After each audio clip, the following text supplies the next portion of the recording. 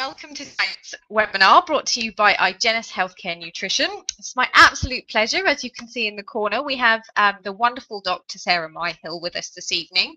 Sarah, as many of you I'm sure are aware, is one of the UK's leading chronic fatigue specialists and one of the only, I think it is, um, clinicians out there that actually specializes and focuses on chronic fatigue and as I'm sure so many of you are aware, Sarah's had absolutely mind blowingly wonderful results with so many patients. Um, so tonight, it is my absolute pleasure to have her with me. And what she's going to be doing is taking you through her wonderful new book. Chronic fatigue, it's mitochondria, not hypochondria, and talking to you all about how um, this works and her clinical approach. And I'm very sorry, my software seems to be doing very strange things. So bear with me a moment whilst I just fiddle around. Um, so yes, I will unleash you all onto Sarah and she will take you through her presentation. And then if you could hold off questions until the end, uh, we'll have a Q&A session. You can fire a few things at Sarah and then anything you need to know that we don't have time to cover, you can email us directly at Igennus and we can um, field the questions and get Sarah to uh, contact you. So I shall leave you with Sarah. I will be in the background, but I'll turn off my video and sound so I don't interrupt and enjoy everybody. Over to you, okay. Sarah. Thank you very much. That's very kind of you. um, um, I came into chronic fatigue syndrome um, because when I started medicine, whenever it was 30 plus years ago, I was always asking the question why.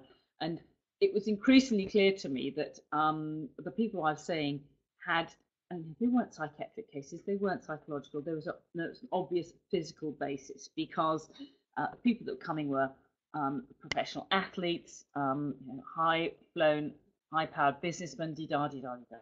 And so I wasn't in any doubt from the very beginning that it was a physical condition. It just astonished me that so many doctors um, treat it from a, a, psychological perspective. So know, I made it my business to try and you know, work out the question why. So that's why the book is called It's Mitochondria, Not Hypochondria. I hope you don't find that too insulting, but it's to emphasize the fact that it's a physical illness with, with, with physical problems. Um, the next uh, slide. That's just a picture of me on my horse, so um, you get a feel for what I do in my spare time. And I myself put in all the things that I ask my patients to do with respect to diet, sleep, supplements, and that allows me to function to my full potential. And that should be my job as a doctor to put in place all the things that are necessary um, to do such. So um, this is the overall strategy for treating people with fatigue syndromes. And the point is, is that fatigue is the symptom that protects ourselves. And it is such an important symptom. If we, if we never suffered from fatigue, we'd work all day, all night, all day, all night, and we'd all be dead after two weeks. That's the, the longest anybody has gone without any sleep at all, I think, is about 11 days. So um, fatigue protects us from overdoing things. And, and I think of, of energy as um, money in the bank. And it's a bank account that can't go overdrawn because if you go overdrawn, you're dead. So um, if you start to get low on energy, the brain gives us this symptom of um, fatigue to stop us overspending. So fatigue is a really important part of normal life, and actually, of course, everybody gets fatigued. So fatigue arises when energy demand exceeds energy delivery, and that means we have to look at both sides of the equation. We have to look at how we generate energy in the body, and we have to look at how we spend it. And we spend energy in various ways. An astonishing two thirds of all our energy just goes into basic housekeeping duties, just staying alive, basic heart, gut, kidney, um, um, digestive function, um, uh, liver function, and so on. We then spend energy mentally and physically, and of course, that's an important part of managing ME because we have to pace activities so that that mental and physical bill isn't too high. But the two biggest holes that I see in the energy bucket the emotional hole and the immunological hole. And in the immunological hole, I'm thinking infection, allergy, and autoimmunity. So what happens in, in ME and fatigue syndrome is either pot of energy is small because um, we're not generating it, uh, because all these factors which I'll go into, or because we're spending the energy wastefully, we're, we're throwing it away. So let's say this is how we spend the energy. I'm, sometimes I jump ahead of myself, so forgive me for that. But the most astonishing statistic on this slide um, is the liver. As you can see, I mean, the brain, the brain weighs just 2% of body weight, but consumes 19% of all our energy. Heart, 7%, but the liver consumes more energy than the brain and the heart combined, which I have to say I'm blown away by that statistic. I think it reflects the fact that, um, and, and also reflects a, a recent interest of mine, which is the fermenting gut, which is how much energy is used up by the liver to maintain homeostasis in the body maintain blood sugar levels, to clean up the um, uh, detoxify chemicals that are coming from the fermenting gut, or just just foods, or whatever, whatever. And then, of course, um, we spend energy mentally and physically, as I've said, um, but the two eight holes of emotional holes, and, and hypervigilance is a common problem, often disturbs sleep, um, and as I call it, the immunological hole. So, um, the important thing to, to recognize about chronic fatigue or ME is it's not a diagnosis. It's a clinical picture. It's a clinical picture that we recognize as doctors, as patients, or whatever, and that arises when energy demand chronically outstrips energy delivery. And I think of this as, as the Mr. Micawber principle from, from, Charles Dickens, where he said, you know, income uh, 20 shillings, outgoing 21 shillings, you know, result misery um, uh, income at 20 shillings, outgoing 19 shillings, result happiness. And um, all my ME patients are in uh, negative energy balance. You know, there are cases, of, you know, probably income, you know, two shillings, um, outgoings four shillings, and result misery. So, diagnosis is all about identifying the underlying causes for that energy deficit because that gives us obvious indications for management. So if you can diagnose poor, it's just poor energy delivery, then you can tackle that. Or if you're wasting energy for whatever reason, you know, then we can tackle that. So the first point is we have to make the energy cost as large as we can. And a very useful analogy, which is uh, which is very helpful, is to think of the body as a car. And um, if, you, if the body is a car, then to get that car to go, these are all things you need. You need an engine, that's your mitochondria. You need the correct fuel in the tank, and that's diet and gut function. You need oxygen there, that's the lungs and the heart and circulation. Of course, anybody who has anemia um, um, is going to have chronic fatigue syndrome because they can't get the oxygen there. Anybody in respiratory failure is going to have chronic fatigue syndrome because they can't get the oxygen there. The thyroid, and, and those are obvious causes of fatigue, which in the medical profession do pick up on. The thyroid gland is the accelerator pedal of your car. Um, so that sets how um, uh, fast the mitochondria go. And again, there's another little interesting wrinkle here because the thyroid is determined. Uh, uh, the thyroid is responsible for determining the number of mitochondria. So if the thyroid gland is going slow, you don't have many mitochondria. So not only does your engine go slow, but it's a rather small engine as well. So that's a, a, a W there. The adrenal gland is the gearbox of the car, and that allows us to gear up energy um, production according to stress. And essentially, we have the immediate stress hormone, which is adrenaline, which allows us to sprint a 100 meters in, in, in faster than Usain Bolt when a, a saber-toothed tiger leaps out at us. We have um, hydrocortisone, which is um, medium uh, time, uh, the, the, short range, or uh, the medium range uh, stress which allows us to maintain the, the adrenaline response. And then we have DHEA, which is effectively the long-term stress response. So um, that allows us to gear very closely um, the stress response to the, um, the time effect. Sleep, so important. Um, sleep is when the body services and heals and repairs. Okay, your car may just require um, a service once every six months, but our bodies require um, servicing every night. And the average sleep requirement is eight to nine hours, and it must be good quality sleep. The methylation cycle is part of the toolkit that heals and repairs.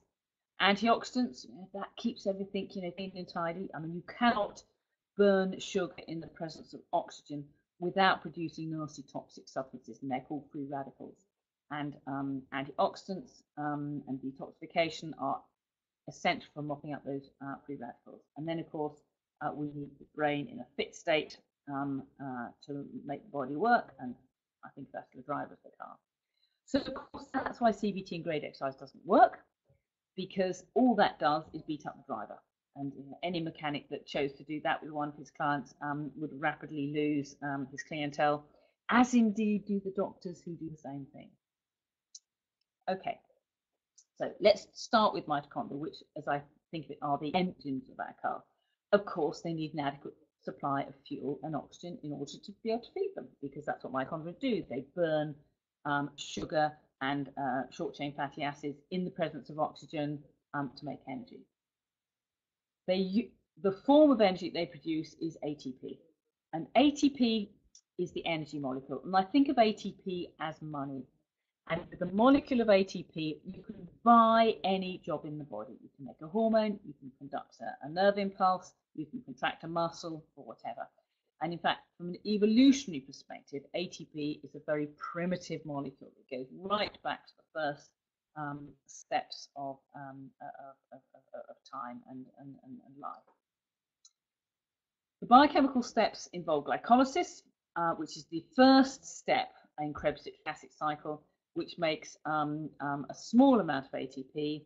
And the second step is oxidative phosphorylation, which makes a lot of ATP. So um, glycolysis is what yeast cells do when they ferment. It's very inefficient, um, and that happens in anaerobic metabolism. What makes mammals, well, what makes any animal that has mitochondria um, so efficient is that they can they have this uh, biochemical um, powerhouse of mitochondria that um, produce energy with oxidative phosphorylation, which produces 32 molecules of ATP. So it's, it's, it's an incredibly efficient way of getting energy. And um, uh, so an ox the point is oxidative phosphorylation makes the most ATP from one glucose molecule, and that can only happen in mitochondria.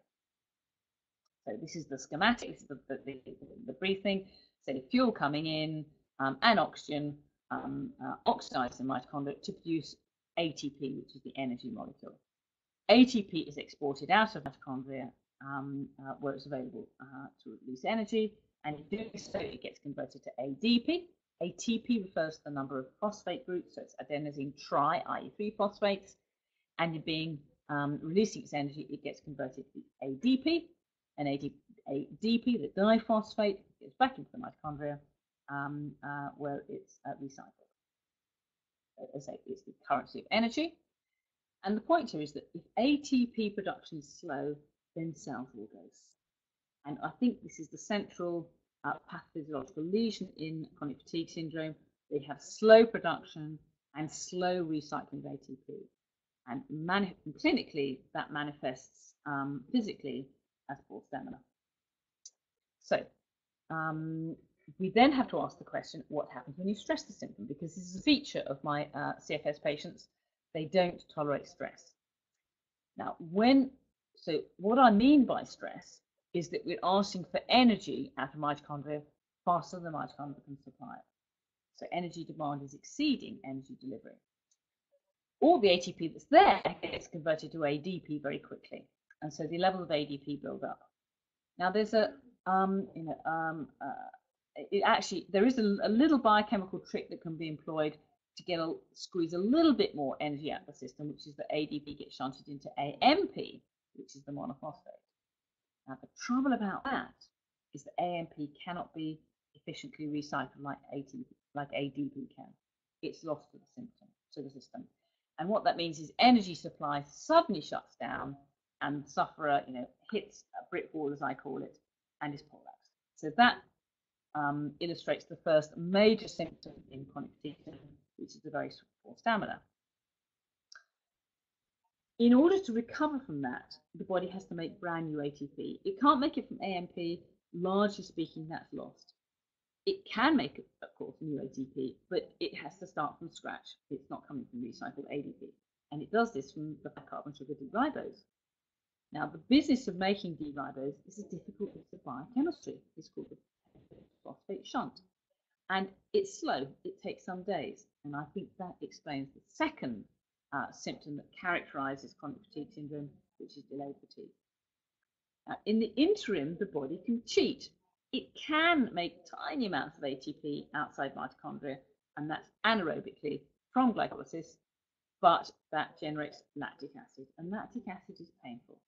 And muscle pain, heavy feelings in the muscle, muscle feeling dead is typical of my CFS patients. Um, there is a headache that seems to be peculiar to my CFS patients, um, uh, which isn't caused by allergy.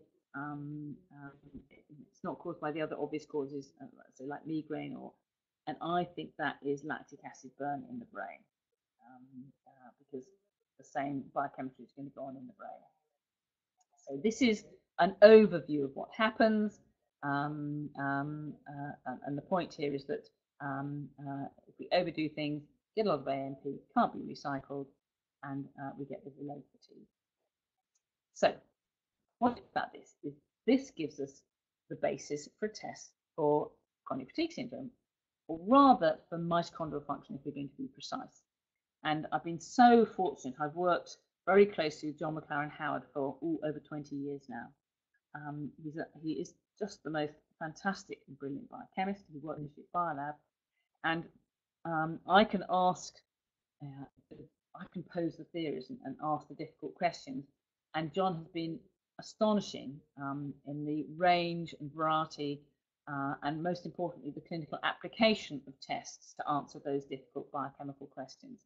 And the tests he uses are all within the scope of, of, of, of research biochemistry, but he gives them clinical application, and that's what makes him such uh, a unique biochemist. So this is the um, um, uh, schematic. This is uh, uh what's going on. Whoops, let me go back. Now, and the point here is that the mitochondrial, um, the ATP profile test, this is what it, it measures. It measures levels of coenzyme Q10, very important antioxidant, and electron acceptor and donor, and an essential part of oxidative phosphorylation. NAD, vitamin B3, is a really important intermediary between carboxylic acid cycle and oxidative phosphorylation. L-carnitine, I think of that, or acetyl L-carnitine, as the um, the nozzle that allows fuel to get um, uh, from the fuel tank in, into the engine. Um, he also looked where I put that um, A there. Um, he looks at how efficiently AT, uh, energy can be released from ATP, and that's a magnesium-dependent process. He looks um, B at the efficiency of oxidative phosphorylation, i.e., how well the mitochondria can make um, new ATP from uh, well ATP from recycled um, ADP, and C um, measures translocator protein function. So for ATP to get out of mitochondria into the cell where it's needed, there's a special carrier protein called translocator protein in. The names are a bit confusing. The name refers to the direction in which the translocator protein is looking, not the direction in which ATP is going. So that confuses everybody, including me sometimes. Um, and then he also looks at how efficiently ADP is recycled back into the mitochondria. That's called translocator protein out. And, and again, it, it, uh, the name is determined by the direction in which the translocator protein is looking. So measure all those things gives us a very useful handle on what's going on because we can tell if the mitochondria are going slow because they're deficient in something. And the big rate limiting steps are going to be carnitine, vitamin B3, coenzyme Q10, magnesium, there are probably others, but those are the big ones. And how well translocator protein function works. And that can be blocked, and it can be blocked by chemicals from the outside world, such as organic pesticides or organic compounds or heavy metals. It can be blocked from the inside world, such as products of the fermenting gut. Um, uh, um, lactic acid will block it, um, as indeed will aldehydes. So gives us a very good um, handle on um, how bad the problem is and my mitochondria going um, AWOL. This is a dreadful slide. I'm sorry about this, but it just it just tells a little bit about the biochemistry um, of how to make energy. You don't need to know about it, um, but for those that are interested, there it is. Now, this is interesting because um, these are some of the genetic um, mitochondrial diseases that we say we see, um, um, and uh, they've got various names like Leigh disease, Miller syndrome, um, Pearson syndrome, or whatever, and they refer to um, biochemical problems of mitochondrial complex one, two, three, four, five problems. the important thing to get from this slide is the symptoms that these people suffer from. And if you look at those symptoms, you know, many of my ME patients have these symptoms. Exercise intolerance, um, not so much muscle wasting, I'll explain why in a moment. Lactic acid acidosis, uh, cardiomyopathy, um, um, ataxia, confusion, exercise intolerance, metabolic acidosis, etc., etc., etc. So again, it gives us a, a bit of a clinical clue that mitochondria are um, central in fatigue syndromes. So, of course, I've done my usual trick of jumping ahead of the game, but this is what the mitochondrial function test looks at, um, uh, which I'm not going to repeat because I've just said it. So when um, uh, patients have these tests done at Acumen Laboratories, um, these are the sort of pictures we get. This is the ATP study. Um, okay. So the top third of this um, chart looks at the level of ATP in the cells.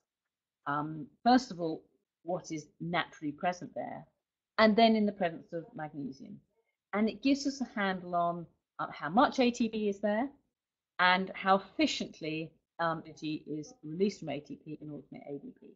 And as you can see here, um, that top result 1.39 tells us that you know there's not much ATP there, and um, the lower one 0.61 tells us that this patient's magnesium deficient. The second part of the test, ADP to ATP conversion efficiency, that tells us how well the mitochondria make um, uh, ATP. And um, um, uh, what John does, he measures the level of ATP, he puts in an inhib inhibitor, and then he removes the inhibitor. The biochemist amongst you, that's all about changing the pH um, one way or the other to uh, affect it. But what that tells us is how efficiently mm, um, ATP is made from ADP. It should be above 60%. As you can see in this example, it's just 31.1%. Oh, hang on, I can point that, can't I? Um, um, Mm-hmm. Oh, yeah, yeah. Okay. Uh, can I interrupt you for a second, Sarah? Is there any way you can move your microphone very slightly closer to your mouth, as some people seem to be struggling to hear you when uh, you turn your head round? okay, that should be better. Is that better? Can, can you guys hear me now? Yeah, I, can, I, I think that's a bit clearer, yeah. yep, don't worry too much about that. But yes, um, and if you sort of wiggle over the slides, you can scribble on them. I shall let you get back really, to it. I'm really sorry about that. Okay, so as I say, the, the middle part um, tells us how efficiently a mitochondria can make um, ATP from ADP. And this figure here gives us the result. Um, um, and uh, it should be above 60 and in this case, you know, it's you know, um, only two thirds of what it should be. Uh, and again, by looking at the various ratios um, here, it can tell us, this test tells us uh, to the extent that these active sites are blocked. So we're allowed up to 14% blocking, and this patient's got 30% blocking. So that's, again, a very poor figure. The third part of the test looks at how efficiently um, ATP gets from mitochondria um, into the cell. Um, it should be between, um, it should be over 35%, and in this case, it's just 20, whoops, rubbed out 26.7%. So, the translocator protein doesn't work, look very well. It doesn't get um, um, um, ATP from the mitochondria into the uh, lumen into the cytosol, and again, you know, uh, translocator protein, I've actually said those the wrong way around. Translocator protein in is the, is the other way around. So translocator in takes ATP from the mitochondria um, into the cell, and translocator protein out takes it back again. So what that what this test tells me is that um, this patient's mitochondria are going slow, partly because of magnesium deficiency, largely um, because of blocking. That just uh, says um, what I've just said, so I'm not going to repeat that, but that's for the record. Okay, uh, if any one of these processes goes slow, um, uh, then mitochondria will get will uh, malfunction. They will go slow. Any one of those processes um, uh, will uh, be a problem, but a combination of those will be even worse. So what we what we devised is um, a method of scoring those different things, um, multiplied those all up, and that effectively gives us uh, what I call a mitochondrial energy score. It's an objective measure of how efficiently mitochondria um, can recycle ATP. And uh, the point is, is it, we then went on to study this. Now, this was the first study that um, I published with uh, Dr. Norman Booth from Mansfield at Oxford and um, Dr. John McLaren Howard. Now, this was 71 patients. These were patients that I had really struggled with. They'd all done the basic workup, um, diet, the supplements, the sleep replacing, all that stuff, and they were still struggling. So um, uh, the patient, uh, um, uh, we sat down together and we agreed a clinical score for them. So they said, well, about 30% on 50% on that, 70% or whatever.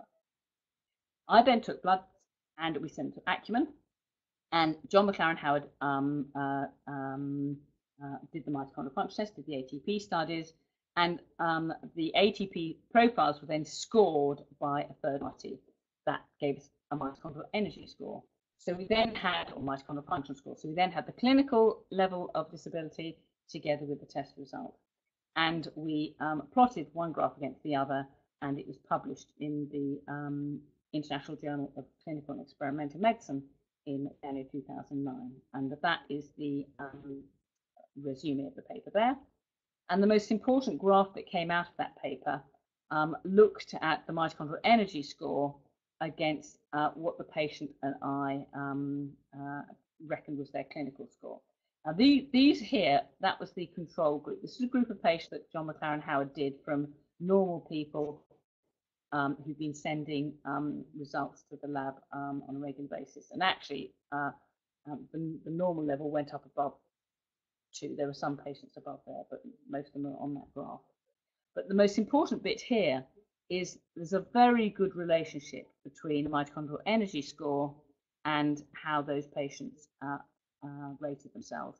So the patients who told me, you know, they were bedbound, housebound, you know, um, uh, really at a very low level, had very, very poor mitochondrial function score. And um, as uh, they, a bit higher, so the mitochondrial function score improved. And there's a very close relationship. And, and statistics, when you work them out, are, are very powerful. This looks at mitochondrial energy score against age. And as you can see, age is no, is no bar.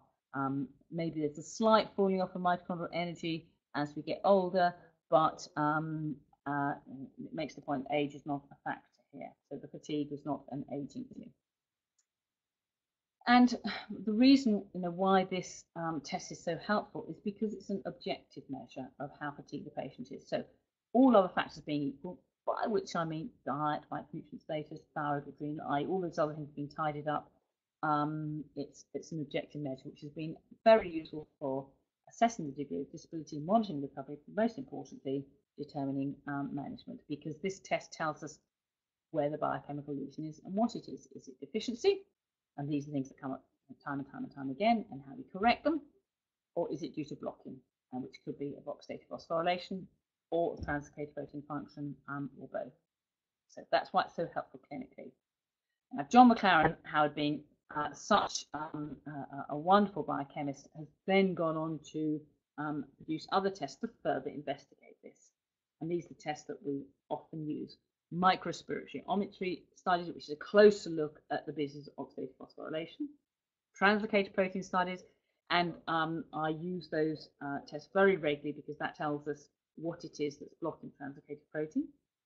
And cardiolipin studies. Now, the point here is that um, um, you know, all biochemical reactions take place on membranes.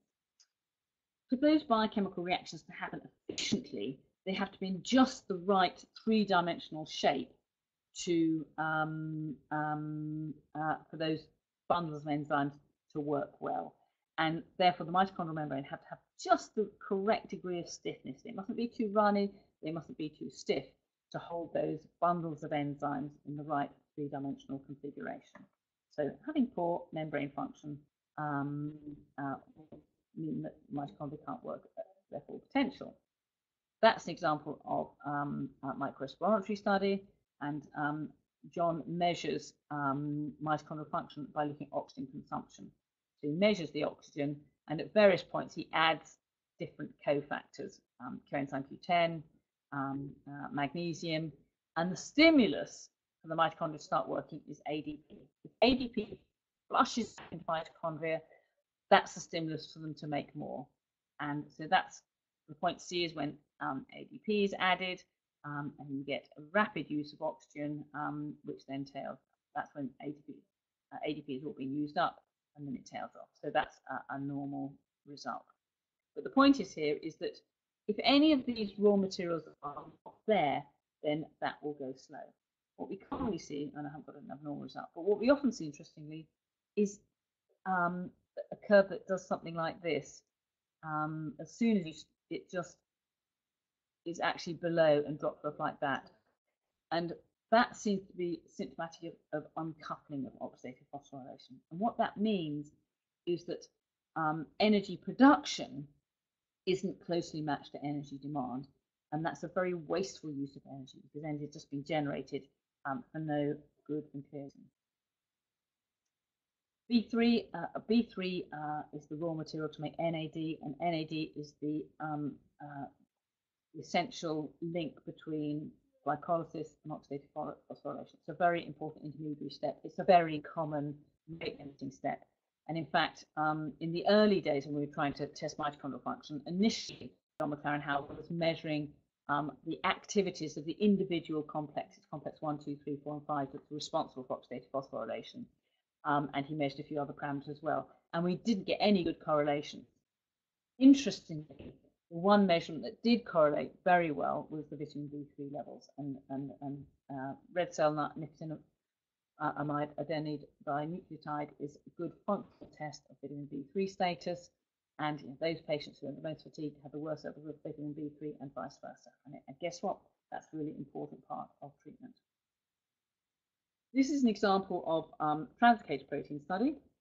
Um, uh, so it looks at um, the mitochondrial membranes directly, and John looks at the numbers of mitochondria.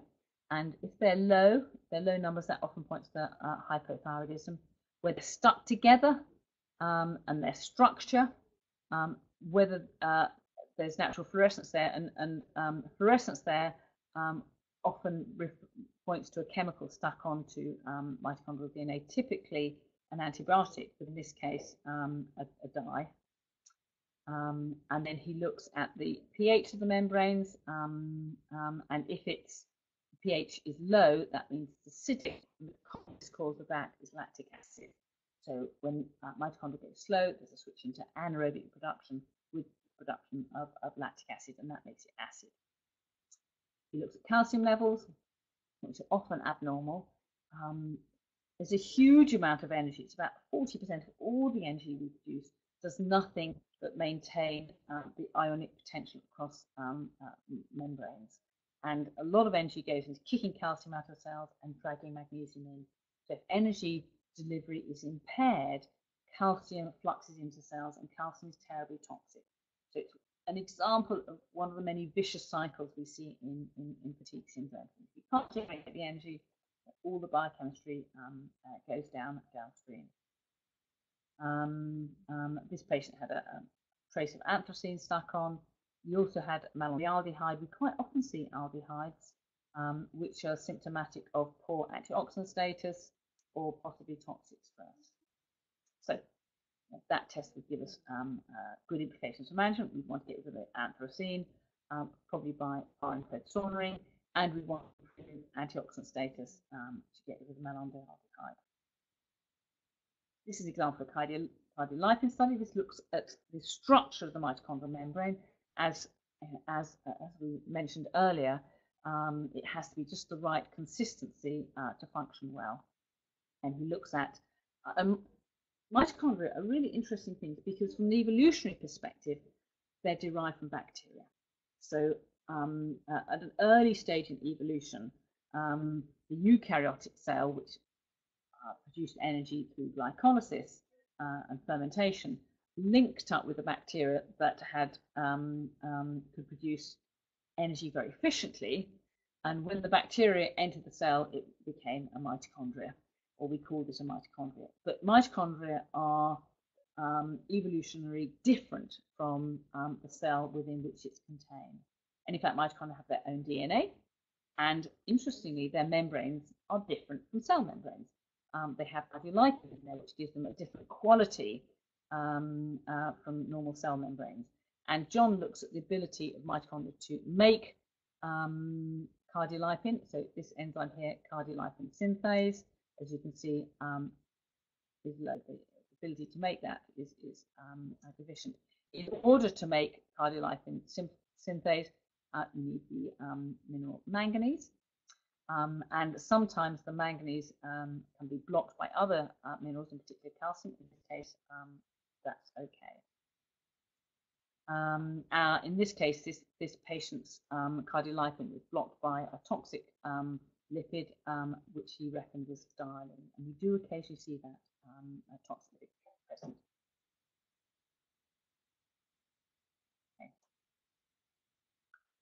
In fact, this refers to the same uh, patient I referred to in the previous slide here, who had malondialdehyde. Um, and uh, again, that malondialdehyde is often found in conjunction with, with, with dialing. Okay. Intracellular calcium studies. test this test very often, but John is such a good man. He often does um, extra, additional tests uh, for no uh, charge. And this looks at calcium studies. You know, calcium obviously is essential uh, mineral, but within cells it's very toxic. And uh, and this patient has got very high levels of calcium inside um, the cells, which will be directly toxic to the cell because calcium is so toxic, um, it, um, cells have mechanisms within them for mopping it up. Um, uh, and uh, these mechanisms include calmodulin, which is a protein that mops up calcium. As you see, that's high normal. Calcium can stack onto ATPase, and again, it's doing a job mopping it up there. And there are other calcium binding proteins as well. So this cell is doing its very best to mitigate the calcium flooding in, but um, it's short-term gain, it's, it's firefighting really, uh, and the bottom line is this cell is poisoned by calcium. It's symptomatic of poor mitochondrial function.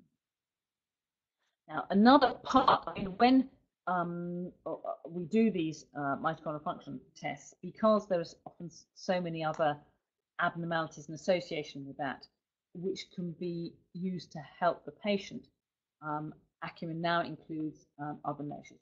Cell-free DNA isn't directly a measure of mitochondrial function, it's actually a measure of damage. And the idea here is that all DNA um, in the bloodstream should be packaged up within, within a cell. If there is DNA lying outside the cell, then that's come from damaged tissue. The point here is that a cell-free DNA is a measure of tissue damage. And it's unusual in CFS patients to find normal levels um, of that. This you know, um, is an, a, a, a, case that just illustrates the point that in chronic fatigue syndrome and in ME, there is real damage. This is physical damage um, um, uh, to cells, which can be measured. So if somebody had acute attack of flu, or was on cancer chemotherapy, or had a major traffic accident, they would have cellular damage and a high cell-free DNA. This is a very high reading. We're allowed up to um, 9.5 um, um, I think it's DL per liter, and um, uh, micrograms of DNA per liter.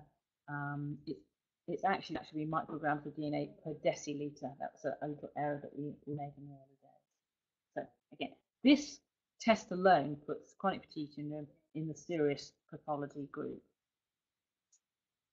This is another way of looking uh, for damage. Um, lactate dehydrogenase um, is contained within cells and if the total LDH is high, um, and this gives an example, then that tells us there's cell damage going on. There are actually five different isoenzymes of LDH, and by looking at the combinations, it gives us an idea of uh, where um, that's coming from. So in this patient, they've got high levels of LD2 um, and high levels of LD5, um, and that combination, ooh, off the bottom there, but that often points to a muscle problem. And of course, muscle damage is very common in my CFS patients because they will do too much and push themselves. So These are the common reasons for a high cell-free DNA that we see in the chronic fatigue syndrome. The first one, the very common one, is that just the patient isn't pacing. And um, you know, all my patients are, tend to be, you know, workaholic, perfectionist types, don't say no, push themselves to their limit all the time. And they and in, in that event, um, energy um, demand is clearly exceeding energy delivery. And that happens at the expense of cell damage. And this um, emphasizes the point of why pacing is so important. Because if, if you're pushing yourself so much that you are damaging tissues, as indicated by high cell-free DNA, then the immune system is responsible for healing and repair. The immune system is our standing army. And activating the immune system is a dangerous business because it can switch on allergy and it can switch on autoimmunity. So you may well damage yourself in the day by pushing yourself too much. You heal and repair at night, hopefully with a good night's sleep, and that involves the immune system, but um, you risk switching on other immune problems which are much more difficult to switch off. You can get a high cell-free DNA because of poor antioxidant status, and we measure all these things routinely. You can also get high cell-free DNA, again, if you push yourself and you're, you're switching early into anaerobic metabolism. Um, toxic stress um, from the outside world um, also damages, and of course, uh, infection is also damaging to cells. So lots of possible um, causes, and it helps to narrow things down. Again, this is part of mitochondrial function tests, uh, is a measure of antioxidant status. Um, there are three important um, frontline antioxidants. Uh, the first one John measures is superoxide dismutase.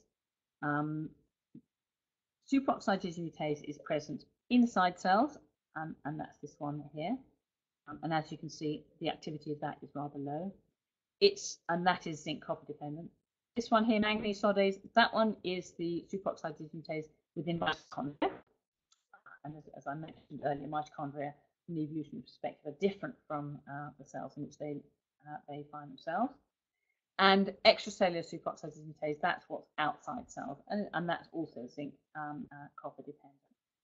Um, and all those have to be, you know, within um, range.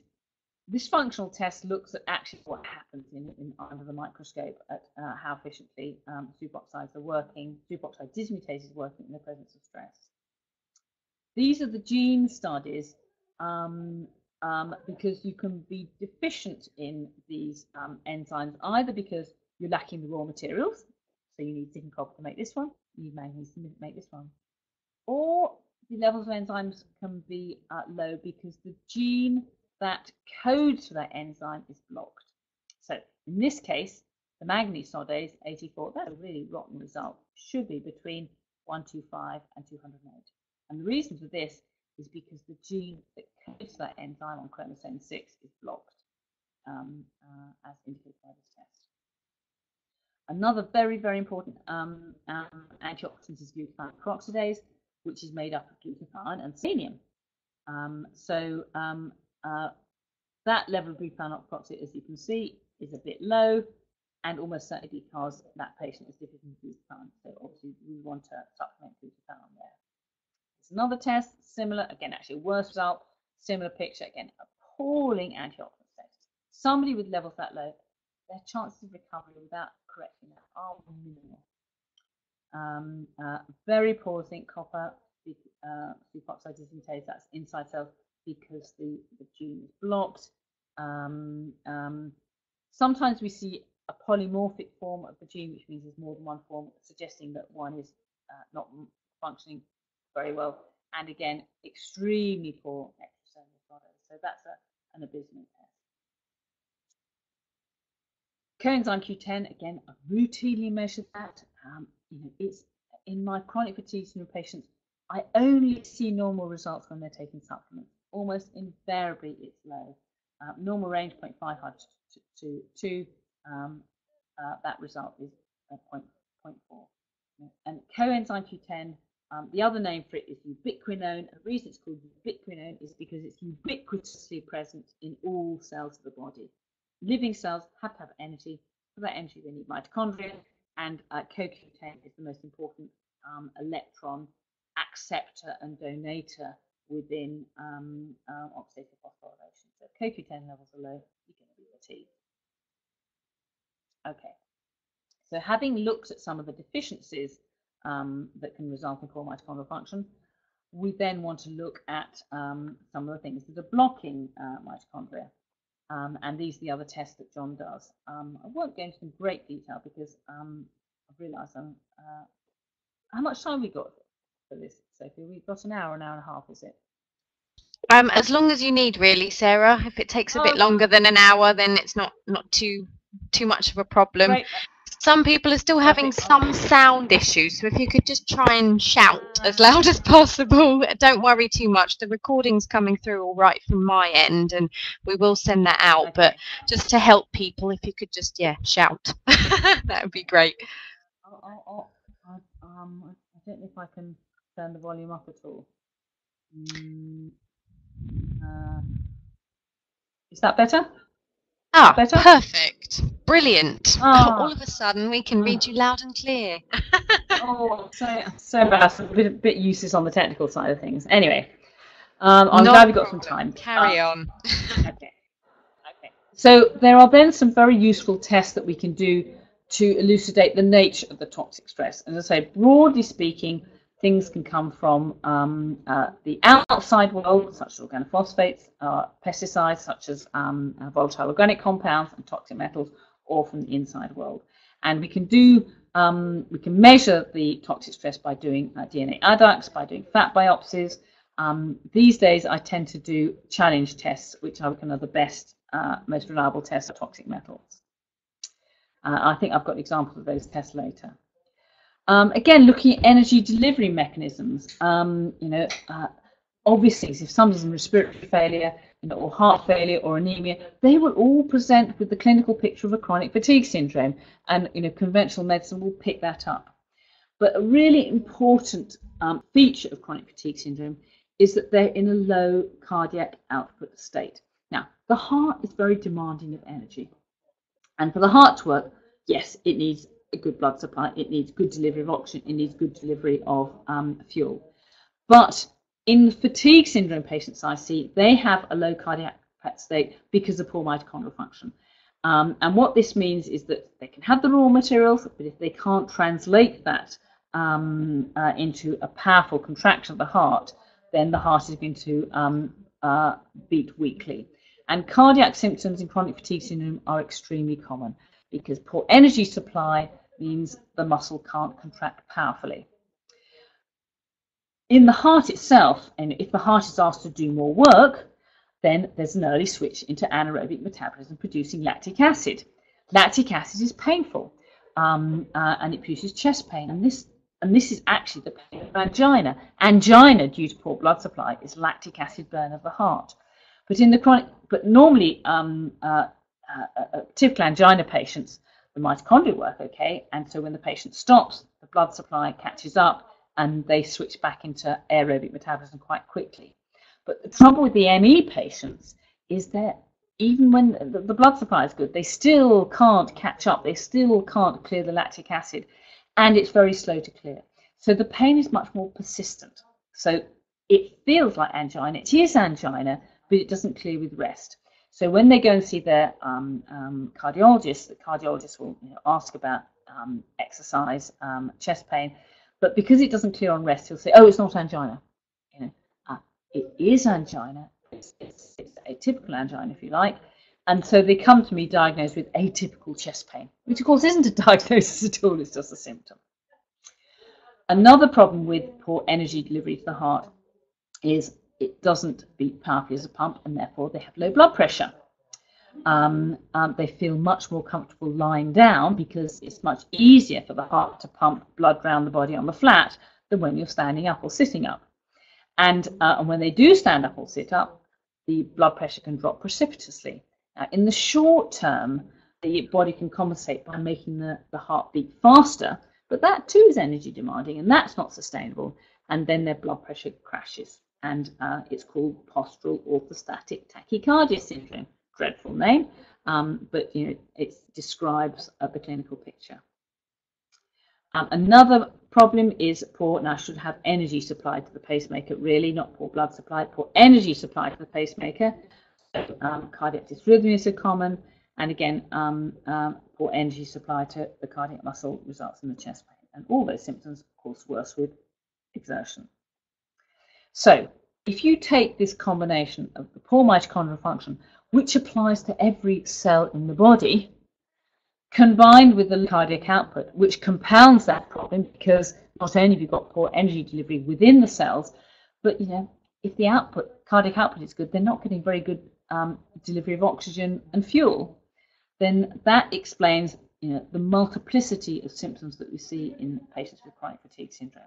Now, obviously, that fatigue, you know, anybody with poor energy delivery is going to suffer from um, um, uh, physical fatigue. Muscles, there's going to be an early switch into anaerobic metabolism uh, and therefore muscle pain because of lactic acid burn.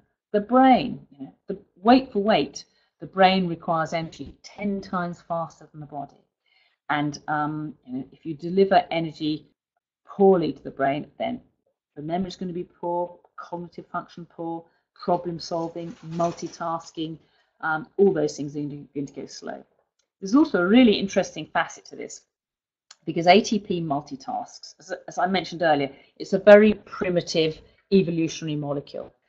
Um, it's responsible not just for energy, it's also, um, uh, adenine is part of DNA. It's also a neurotransmitter. And, um, um, uh, well, to be precise, it's a co-transmitter. And what that means is that the other neurotransmitters, like GABA, um, acetylcholine, um, uh, dopamine, and so on, they don't work unless you have a molecule of ATP with them. So if ATP delivery is impaired in the brain, then uh, those molecules won't work efficiently. And guess what? You know, low mood uh, may well result. The eye, again, um, the business of converting a light signal um, in the eye to a signal that um, the brain can read, i.e. an electrical signal, requires vast amounts of energy the eye is enormously demanding energy. It requires energy 10 times faster than the brain, i.e. 100 times faster than the body. So if energy delivery is impaired, then um, the eye can't cope with the information coming in. And it's a feature of my severe MEs and my severe chronic fatigue syndromes that um, they only feel okay when they're lying down horizontal in a darkened room. They just cannot um, tolerate the light coming into their eye.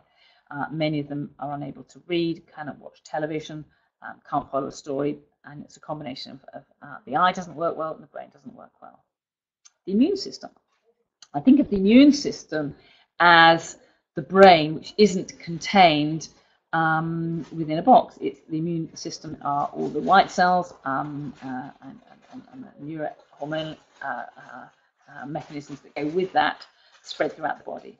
It's our standing army. And guess what? Standing armies are greatly demanding of energy and of uh, raw materials. And how do I know that? Because if I give a normal person flu, they develop chronic fatigue syndrome overnight um, uh, because the immune system is using up all that energy in order to get rid of infection. Um, again, poor temperature regulation is a feature of my chronic fatigue syndrome patients. And the reason for that is that um, if they, I mean, they tend to suffer from cold because their mitochondria go slow and mitochondria generate heat, so they run cold. But if they do to an environment that's too hot, they can't lose heat. And the reason for that is that the skin is a very large organ, it's the largest organ in the body. Um, to lose heat, you have to pump blood to the skin, and, um, and that allows you to radiate heat. But you know, if the heart doesn't work well, it can't increase its output by 20%, which is about what it requires. Um, it, you can't lose heat, and um, and therefore uh, uh, that makes things very uncomfortable. The liver, of course, as I mentioned earlier, it consumes 27% of total energy consumption uh, production.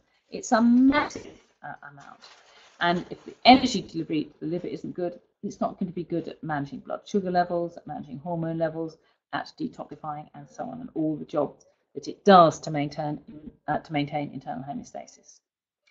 Joints and connective tissue, they have to be healed and repaired by the immune system. Um, uh, the gut, you know, the gut, again, I, have been researching to try and find a good figure for this. Of course, the, the liver is part of the gut. But if, if energy delivery to the gut isn't good, it's not going to be able to digest foods very well. It's not going to be able to absorb foods very well. And all the raw materials we need uh, to function uh, uh, just won't be there. Hormone synthesis will be slowed. Kidney function will be slowed. I'm currently collecting um, figures, but it's my clinical um, impression from those that I've got that those people with the worst fatigue often have um, low glomerular filtration rates, i.e. their kidneys don't work as efficiently as they should. And I think it's probably just simply um, an energy delivery issue. Lots of my patients with um, uh, chronic fatigue syndrome suffer from uh, muscle pain, which is called fibromyalgia. Again, it's not a diagnosis, it's a clinical picture. And we've got to um, ascertain uh, or work out the underlying mechanisms of that. And of course, poor mitochondrial function is going to be a major cause of that. And the, the symptoms of lactic acid burn, well, any athlete will be able to tell you that. The muscles are weak, they feel heavy, um, they burn, they're painful, um, uh, and they just don't they just don't work. So sometimes that gives a clue. Um, uh, the Cori cycle, that's a, this is a little um, in a biochemical um, uh, uh, trick. The point here is that if my uh, chronic fatigue syndrome patients uh, move into anaerobic metabolism, you know, which they're doing all the time when they overdo things, it's very inefficient. And they're only generating two molecules of ATP for each molecule of glucose that's being burned. That produces a molecule of lactic acid. But in order to get back from lactic acid to um, glucose or pyruvate, you need six molecules of ATP. I, you need some mitochondria that work really well. Now, if you're an athlete with excellent mitochondrial function, and more importantly, and as importantly, lots of them, as soon as you stop exercising, um, you can very quickly generate the energy to shunt the lactic acid back to glucose. But of course, my chronic fatigue syndrome patients can't do that because their mitochondria don't work. So the lactic acid burn is very persistent. It doesn't go back in a few minutes. It takes hours to revert, possibly um, sometimes days. Um, and um, that explains the very uh, persistent, say, lactic acid burn um, that we see in the chronic fatigue syndromes. Uh, this is it schematically. Um, and the important um, takeaway message, as the Americans say, is that the business of going from glucose to pyruvate and to lactate only generates two molecules of ATP, but to reverse that in the liver takes six molecules of ATP. So it's a rotten deal from an energy production view. In the short term, it might be essential. I mean, those extra two molecules might make the difference between you escaping that saber-toothed tiger when it attacks you and not. So it's an emergency measure, but my poor fatigue syndrome patients end up in a state of um, uh, chronic lactic um, acidosis. Okay, we also see um, in um, a chronic fatigue syndrome muscle damage, and of course the evidence of that can be high cell-free DNA, which we talked about earlier, or it can be evidenced by high levels of CPK, which indicates muscle damage, or it can be evidenced by high levels of lactate dehydrogenase. So um, those tests are helpful in, my, in fibromyalgia. It gives us objective evidence of, of, of muscle damage. And the mechanism of that um, um, can also be magnesium deficiency. Now, magnesium is one of my favorite minerals. Lots of my chronic fatigue syndrome patients love magnesium. Uh, some, some will benefit from oral supplements, some from transdermal, um, some it has to be injected. But the point here is that magnesium is necessary for muscles to relax. So if I contract a muscle, um, largely speaking, that's um, uh, so if I uh, I can't see, oh, there we go. If I contract a muscle, um, that um, uh, requires calcium, but in order to relax it, that requires magnesium. If you haven't got the magnesium present, then think of muscles as, as sticky muscles. Um, they can't let go, if you like. They can't release from their binding sites and stretching that muscle will tear it. So you get micro tears in the muscle, which then have to be healed and repaired by the immune system. That involves inflammation and that's painful. Um, there can be muscle damage because of poor antioxidant status, and um, uh, again, the business of generating energy produces free radicals, which are very damaging. Um, you can't, say, as I was saying earlier, you can't burn sugar in the presence of oxygen without producing some pollution um, some exhaust fumes, and that has to be mopped up by antioxidants. If you can't mop them up, those free radicals cause damage. And another condition I'm increasingly recognizing is allergic muscles. And I probably get as many emails about allergic muscles than any other subject. the point here, um, and that's why I put my link to my website so you can read about it in more detail. But the point about um, this is that any part of the body can react allergically. The brain with migraine, the lungs with asthma, the gut with irritable bowel syndrome, the joints with joint pain, and muscles are no different. And um, when muscles react allergically, um, all they can do is go into spasm. And the pain of uh, allergic muscles is extremely severe. It's excruciating. People tell me it's like somebody's um, clapped a couple of electrodes uh, across their muscles, and it's absolute agony. And I think the mechanism of this is it often starts with injury. And, you know, we're always, you know, as a part of normal life, we get injuries. And um, when you injure yourself, there's bruising. And when you bruise, um, muscles come in direct contact with blood. Now, that's not supposed to happen. The blood's meant to be separated by a blood vessel. So when um, um, the muscles come in contact with blood, there is the potential for them to sensitize to whatever is in the bloodstream at the time, which could be um, food antigens from the gut, or it could be bacterial um, or yeast antigens from the gut. But the point here is, is that the sensitivity is switched on by um, um, the exposures um, and maintained by that.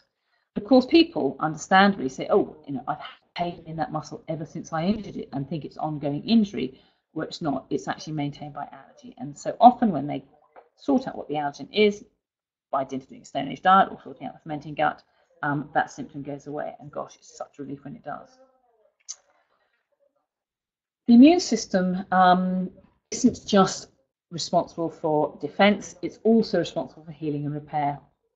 And this is a little, a bit of an aside, but it's, it's interesting and clinically very useful. Uh, Dr. William Kaufman was a physician in the States, um, and he published a book in 1949 called The Common Cause of Joint Dysfunction. And what he did, he took 1,500, uh, which of course is osteoarthritis. In, um, he then took 1,500 patients and he measured their joint range index. And he did it as a very um, systematic um, uh, way. He went through all the joints of the body, measuring to what extent they could move, um, uh, how much flexion they had, uh, uh and he called it his joint range index. He then put those patients on niacinamide, which is vitamin B3, which we talked about earlier, um, in those sort of doses. Um, big doses, 1500 milligrams to 4000 milligrams a day, which is 1.5 to 4 grams. He was insistent they took it little and often, six doses. Um, uh, we can get around that by using the slow release preparation, which makes life a little bit easier now. But the fascinating thing about this is that um, the joint range index improved um, re almost regardless of the cause of the arthritis. So this is a joint range. This is the, I'm sorry about the appalling quality of the slide, but I scanned it in from the book. But these are the various age groups from uh, 0 to 5 and the upper age group of people in their 80s. So uh, didn't matter how old you were, uh, it was effective. And as you can see, um, the joint range index before and this after. And as you can see, in every age group, it improved. But the interesting thing is the older you get, the better the improvement. Um, now, he concluded then that the improvement became, resulted from accelerated healing he, he then recognized that it wasn't that vitamin B3 was impacting on the cause of the arthritis. Um, those patients were improving because they healed faster. And of course, elderly people are more likely to be deficient in, in vitamin B3 than anything else. And again, this squares very nicely with the mitochondrial stuff because um, the immune system, which is responsible for healing and repair, um, greatly demanding of energy, and vitamin B3 is a major and common rate limiting step. So vitamin B3 really important part of getting well. This is another um, way to look at um, uh, for toxic um, uh, uh, products is to measure what's stuck onto DNA. Um, John has actually re refined this test even further, so this is uh, even more useful. But here's, um, I mean, of course, DNA should be pristine. There should be nothing stuck onto it. It should be, um, you know, the genetic blueprint. And in fact, so precious is DNA that in the business of making proteins, we don't use it directly. You know, DNA is contained within uh, a nuclear membrane to keep it safe.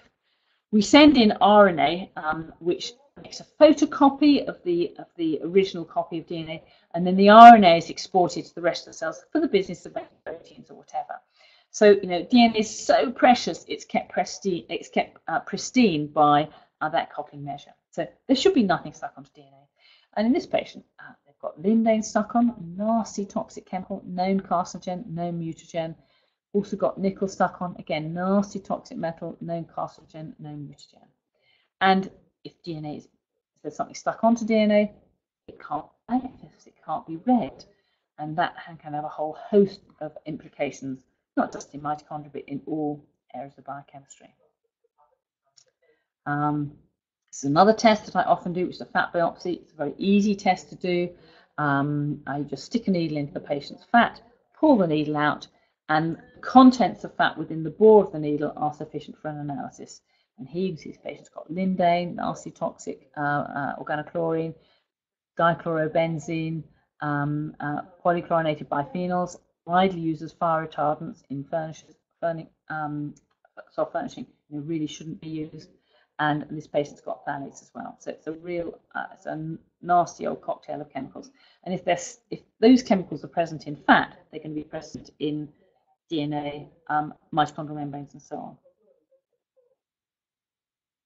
The other interesting observation here is that these results in fat are milligrams per kilogram. If we were measuring these, um, oh, I like drawing, it's quite good fun, isn't it? If these um, chemicals were measured in the bloodstream, they would be in micrograms per kilogram. The point here is that they're present in fat a thousand times higher than in the bloodstream. Now, several important points here. First of all, the brain is largely made of fats. So if you've got high concentration in your fat, you've got high concentration in your brain. Not a good idea. The second point is, is that when people start to do detox regimes, and uh, what I would use for this would be um, uh, uh, far infrared it heats up the fat, it boils off these chemicals. Now, what I'm intending to do, of course, is boil them off from the superficial um, subcutaneous um, flesh onto the lipid layer on the surface of the skin where they can be washed off. But some will be mobilized into the bloodstream and people can get an acute poison as a result because we're talking about you know um, a thousand times uh, levels in the fat being a thousand times higher than that in the bloodstream. So we have to go carefully when we're doing detox regimes. Uh, that's another example of which I think we've already looked at. Uh, this is an amazing technique that John does. It's very, very time consuming and really is um, a research only tool. But um, um, uh, this gives us, him a, a, way of looking at um, translocator protein, uh, uh, translocator protein in mitochondrial membranes directly. And what he does is he makes up fluorescein um, marked antibody dyes for specific um, substances. So this um, green dye will be um, probably for mitochondrial membrane itself and translocator protein. Um, and these toxins represent calcium, and I can't remember what that is. I think it was nickel and mestate. But what you can see is there's calcium stuck on translocator protein. There's nickel stuck on, you know. And when you think that 80% of translocator protein membrane is made, uh, made 80% of mitochondrial membranes is translocator protein, you can see how this would be very damaging um, to the movement of ATP and ADP in and out of mitochondria. Um, I think we talked about that. Um, that's again uh, a similar thing that we saw earlier. Again, it's um, fluorescent um, uh, antibody dyes stuck onto uh, uh um, uh, looking at the surface of mitochondria. Um, the mag well, it's not magnification; it's it's it's a constructive picture, but it's the, the detail here is astonishing. But these, each of these holes essentially is a translocator protein. It's a hole in the in the mitochondrial membrane that's moving um, uh, moving ADP and ATP around. And these white bits um, show um, uh, oxidative damage. So as you can see, the white is abnormal. Um, so this cell membrane or this mitochondrial membrane is severely damaged by anti by pro-oxidant stress. So it's difficult to see how that mitochondrial membrane would malfunction in the presence of such. The blue dye, which doesn't show very well, is protein leaking around. The red dye, again, which unfortunately doesn't show very well, is calcium leaking into mitochondria. So it's a, it's a real crook deal, that one. Okay. Now, the point about um, um, treating my um, uh, chronic fatigue syndrome patients is it's, it's, it's never too late to start. And you also have to remember that um, we, we, as we age, we all develop a chronic fatigue syndrome. Um, and all old people you know, have chronic fatigue. Um, and it's because our mitochondria, um, the function of them uh, gradually declines with age, and the numbers of them gradually declines with age. And uh, as people get older, muscle, they don't have they don't have the muscle bulk of young people. They don't have the same number of cells, and that's simply because if mitochondrial function declines sufficiently, then that cell will commit cell suicide and apoptose. So um, for, for want of a better word, I've used life force. As, as we're young, when we're born, you know, we have maximal potential, and if we all did the perfect lifestyle, you know, for life, we would end up potentially getting to 120. So the oldest uh, woman recorded, um, uh, Jean Calment, uh, or, or, Jeanne Calment, rather, she was a lady living in Paris. She lived to 120. But of course, um, none of us live a perfect healthy lifestyle, including myself. Um, and most people leading an averagely normal um, life lived to the age of, you know, let's call it three score years and 10. It's probably a bit more than that now. People live an unhealthy lifestyle, smoke too much, drink too much, eat rubbish food, don't sleep, uh, die prematurely. But the point is, is that at any stage in life, whether we've been healthy or healthy, if we put in place all the interventions to improve our um, health, diet, sleep, supplement, so on, we parallel the healthy lifestyle and we extend not only the quantity of a life, but the quality our life. So, as I keep saying to all my patients, it's never too late to start. Your best is the end of you. Okay, so um, the overall view here again, you know, make the energy bucket as large as possible, identify how it's being used and reduce wastage. And okay, I said I've got lots of good questions, but you know, at least we're asking the right questions. Um, again, that's just a review of where we've been. Okay. Um, um, these are some of the you know, more recent ideas which I'm developing um, um, uh, uh, in, in, latterly since those early papers were published. The immune system is like the brain. I say it's enormously demanding of energy, and there's some lovely work done by um, Caroline Pond and Milton Keynes, who asked the question, um, you know, when wild animals put on weight, where do they put it? Um, she um, uh, she collected her wild animals by cycling to work in Milton Keynes, and every time she found a roadkill on the road, she would lift it up, put it in the pannier of her bike, and uh, pedal into work to do her research. It's a rather nice image that. Anyway, what she demonstrated is that the first place that extra energy is deposited is around lymph nodes. And this tells us, and of course, you know, the immune system is also based in bone marrow, and that's very fatty. So it tells us that the immune system um, is greatly demanding of energy in an intensive form, i.e. Uh, fats and oils. One, um, I say the immune system um, often punches, as I call it, uh, an immunological hole in our energy bucket. Um, inflammation is a very dangerous thing. We switch on inflammation at our peril. You know, we, uh, uh, our immune system, as I say, is our standing army. And if it gets its wires crossed for whatever reason, and a major reason for that is vaccination. And I see many of my chronic fatigue syndrome patients, their, their chronic fatigue or their ME is triggered um, by vaccination. Um, um, it uh, alerts the immune system inappropriately.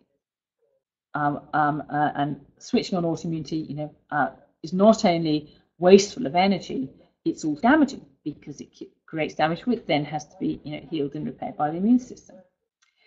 Another way that the immune system gets its wires crossed is by fighting harmless substances, and we call it allergy. Um, and um, I suspect in, in chronic fatigue in ME, there's another immunological waste of energy which has to do with microbes, as I think of it as allergy to microbes. Now, um, um I thought I was going to. Um, so that's the bit about um, uh, infection um, and vaccinations. The immune system gets switched on to fight uh, the offending microbe, whichever that might be, and say, in the short term, very desirable. But if the immune system doesn't switch off um, for whatever reason, and you get this ongoing immune activation, which often switches into autoimmunity or allergy, then you get this low-grade inflammation. Now, a lot of people criticize me because um, um, I tend to talk about chronic fatigue syndrome rather than ME. There are two threads to the chronic fatigue syndrome A story. What is common to all my patients, without exception, is they have chronic fatigue. That's what defines the illness. And that has to do with energy delivery mechanisms and, and the balance between that and expenditure. not all of them have the itis bit, the inflammation, the inflammation bit. The ME bit is um, the chronic fatigue syndrome, i.e. the poor energy, and the chronic inflammation with it. And where there's the chronic inflammation there, then I think we are justified in calling it ME uh, because there's an inflammatory component. So that's where I come from. And the important point about that is the name should give us um, an indication of diagnosis and mechanisms. And in a pure chronic fatigue syndrome, we're looking at energy delivery issues. In the MEs, we're looking at energy deliveries and information, uh, inflammation. Again, some of you may be aware of the work done by Martin Lerner, who's shown that some of the ME patients only respond when they're taking antivirals. I've got patients who only respond um, and recover when they're taking antibiotics because there's some chronic uh, bacterial um, uh, drive going on there. And some patients um, only respond when they're taking antifungals. Uh, and those latter two situations most frequently arise um, where there's a fermenting gut issue. Another favourite subject. Again, you know, I'm always asking myself, you know, um, you know, what's the mechanism of going on when um, the immune system malfunctions because it's a little bit like our senses. You see, what goes on in the body isn't what's going on in the body, it's what the brain tells us is going on in the body. And of course, the best example of this is phantom limb syndrome. Um, uh, when people have lost a limb traumatically, the brain doesn't realize it's lost a limb and they continue to um, uh, suffer pain or itching or awkward positioning in that limb when there is actually um, no limb there. And there's a lovely book by uh, Dr. Ramachandran who describes this and, and also goes on to um, um, demonstrate techniques that can be help, used to help those patients. But I think the same is true of the immune system. And I um, think the immune system has a similar map of the body. And you know, I have visions of the immune system uh, sniffing around um, um, looking at um, uh, you know, what should be there and what um, uh, not there. Uh, and what we're trying to do in immunotherapy in chronic fatigue syndrome is remap the immune system so that it responds appropriately. Um, and there are lots of good doctors who experimented lots of different types of immunotherapy to try to do this, things like neutralization, enzyme potentiated desensitization, and I think homeopathy is all about remapping the immune system um, so that it um, responds appropriately. And what characterizes all these techniques is that tiny, tiny, tiny doses of molecules antigens are being used with very profound effects that can't be explained by conventional um, pharmacology. So um, you know, there's obviously a lot more to learn here, but um, I know that you know, uh, there's been recent um, interest in rituximab for switching off the immune system, but that really is a, a hammer um, uh, to crack a nut. It's, it's a very nasty drug with extremely uh, toxic side effects, one of which, of course, is death. the important point about these immunotherapies is they're very subtle, they're low dose, the potential for harm um, is low. Um, so, uh, so what I'm saying is in the ME patients where the immune system um, is activated, they've got what I call badly educated lymphocytes. You know, they're doing the wrong thing. Um, they're constantly in a state of um, overactivity or action um, when they should be at peace. So what we can do is we can either uh, re-educate them, and that's where the immunotherapy comes in. We can kill them, that's with rituximab. I have to say I'm not a fan of that. I don't don't use that, but you know it's an interesting um, uh, uh, uh, treatment. Or we can try and reduce the things that they're reacting against, which could be foods in the diet. Um, it could be uh, so Stone Age diet. It could be microbes, um, viruses, bacteria, molds, parasites. That's where I'm getting interested in the fermenting gut because the gut has a massive burden of microbes. Or we can shift the level of inflammation in the body in our favour. So vitamin D is anti-inflammatory, vitamin B12 is anti-inflammatory, low dose naltrexone is anti-inflammatory, improving levels of antioxidants is anti-inflammatory, good quality sleep is anti-inflammatory, and so on. That's me on my horse again. Um, uh, that's what you can do when you start to get it right. Oh, oh, I think must come to the end of that presentation. Um, okay, so um, um, I've rabbited on for an hour and a half now, so you must all be dying of boredom. Um, but what I've tried to um, uh, uh, uh, demonstrate is the, the underlying mechanisms by which we um, develop these symptoms, because that has obvious implications. We can, we can, I'm sure, say if we can run another uh, webinar maybe to look at actually how we go about treatment. Yes, definitely. I was going to, to say, I mean, firstly, thank you so much, Sarah. That was fantastic. I mean, from my own personal, selfish perspective, having a, a background in pharmacology originally and then um, moving into nutrition science, it's fascinating for me to read um, and listen to all of this. That you talk about your book as well. I urge anybody who hasn't bought it yet, please, please, please, please buy it because it, it really is a very detailed and thoroughly in depth cover of what Sarah's gone on about here and then goes into much more depth about how to actually manage and treat and and self-control the various symptoms and causes that you've already identified here. So for those of you that are thinking but wait you haven't told me what to do it's all in the book. So please please read it. Um, I mean, so I, what